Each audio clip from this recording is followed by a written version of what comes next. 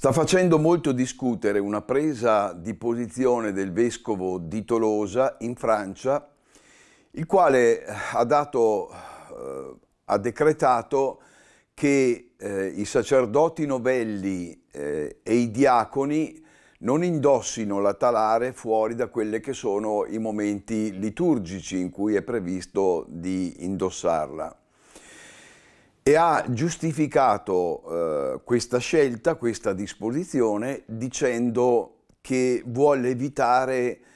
che si impadronisca eh, il, il, clericalismo, si impadronisca della mentalità di questi giovani preti,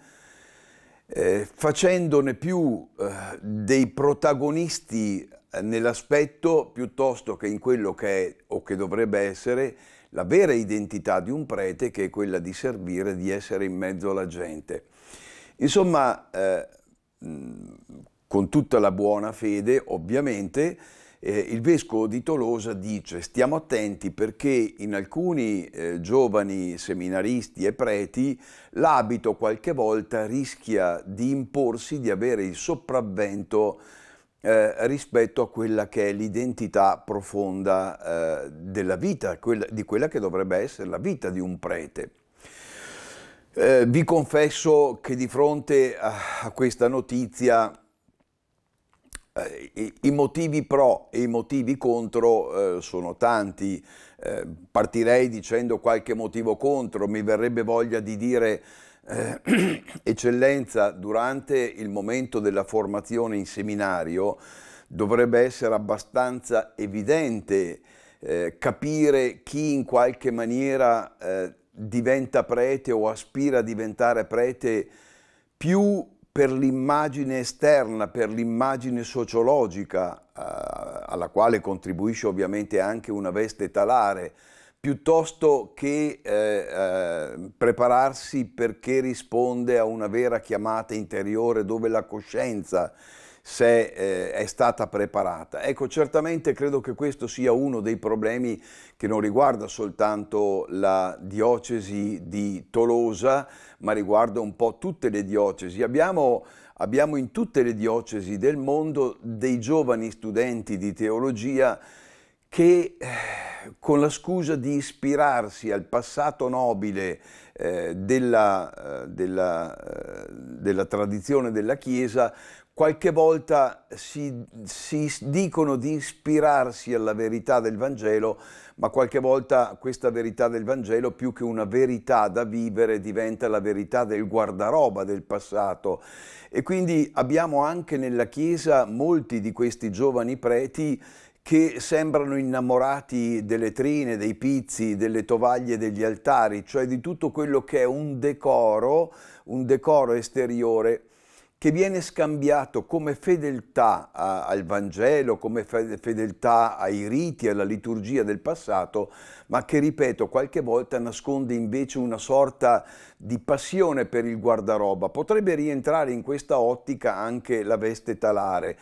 se un giovane studente, eh, un giovane diacono, un giovane prete in qualche maniera vedesse la talare come una sorta di corazza, di corazza protettiva che gli dà un'identità, che gli dà comunque, che gli restituisce uh, una sicurezza, che gli restituisce un ruolo sociale.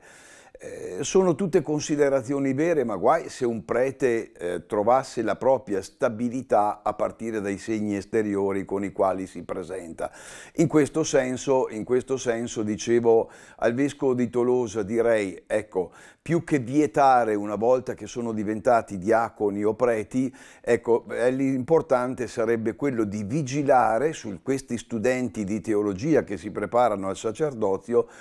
per capire esattamente se questi siano davvero degli innamorati eh, del Vangelo, pronti a servire il Vangelo nel mondo di oggi, con le ca caratteristiche del mondo di oggi, evitando, evitando eh, quindi fughe in quella che è la forma piuttosto che la sostanza. Nello stesso tempo Vorrei dire anche a tutti coloro che hanno battuto la mano dicendo oh finalmente un vescovo intelligente, la talare non serve niente, ricordare che la verità, la verità eh, della vita di un prete non si misura se ha la talare, così come non si misura se va via quei jeans. E io credo che comunque al di là della talare o al di là di altre cose sia importante che nella comunità il prete sia riconosciuto come tale anche attraverso qualche distintivo che lo caratterizza. Ecco, fatta tutta questa premessa, però, mi sembra che il discorso di fondo sul quale riportare il tutto e riguarda questo non soltanto la vita dei giovani preti, ma riguarda la vita anche dei preti avanti negli anni, anzi qualche volta si vede di più nei preti avanti negli anni, ma riguarda un po' anche tutta la vita cristiana. E dicevo, mi verrebbe da fare questa considerazione, ma eh, un giovane prete, un prete avanti negli anni, un cristiano, come concepisce il fatto di essere cristiano? Lo concepisce come una scelta o la concepisce come una chiamata?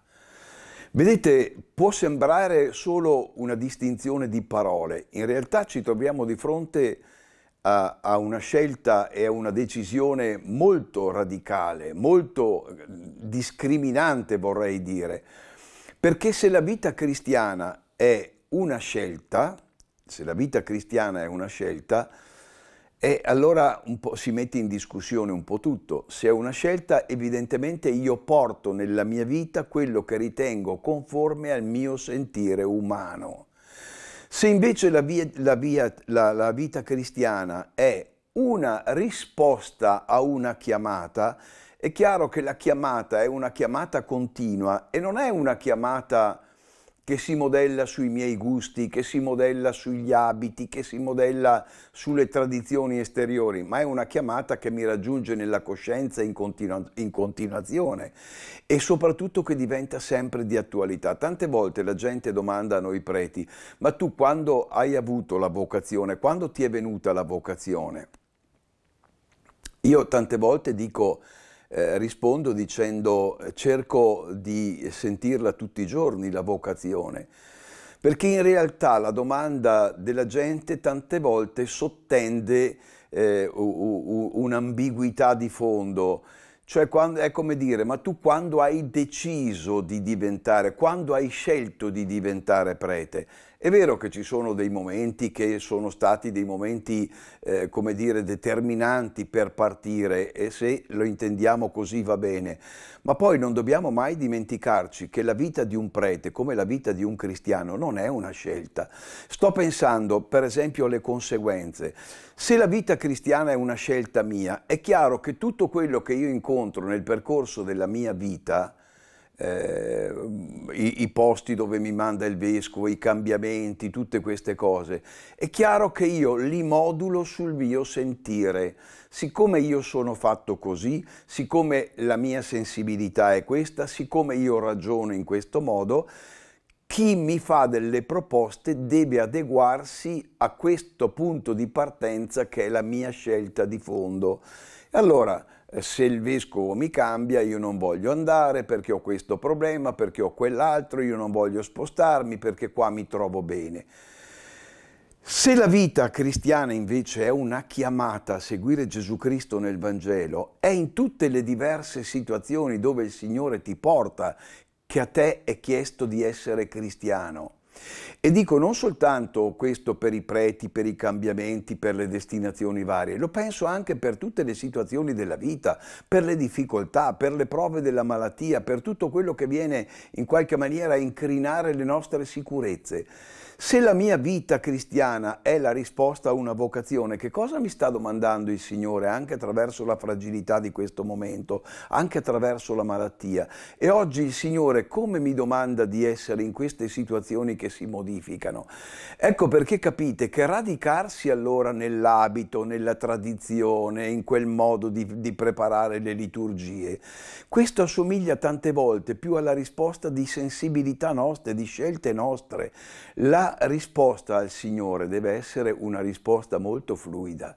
molto fluida, dove la talare è sì importante, ma vorrei dire anche poco importante, perché l'importante è vivere per il Signore, rispondere a questa chiamata. Se così sarà la nostra vita, non solo saremo sereni, perché sappiamo di essere guidati dalla paternità di Dio, ma saremo anche molto più sereni perché la nostra serenità non dipenderà né da un abito né dai jeans che portiamo, ma dipenderà da quello che ci passa nel cuore.